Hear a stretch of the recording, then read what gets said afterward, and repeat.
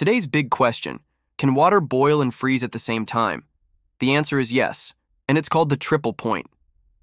When water reaches its boiling point, it becomes a gas. When water freezes, it becomes a solid.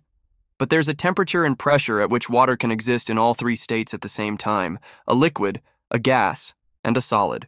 At this temperature, if you put a lid on a pot of water and then put the pot on a heat source, the water will start to boil. As the water boils, it will start to freeze. The ice will expand, pushing the water up and out of the pot. And as the water freezes, it will continue to push until the entire thing is frozen solid. It might look like a magic trick, but it's really just science. Water has a pretty unique set of properties, and one of them is that it expands when it freezes. That's why ice floats. But it also means that if you put enough pressure on water at the triple point, it will freeze before it boils. So, can water boil and freeze at the same time? Yes. It's called the triple point.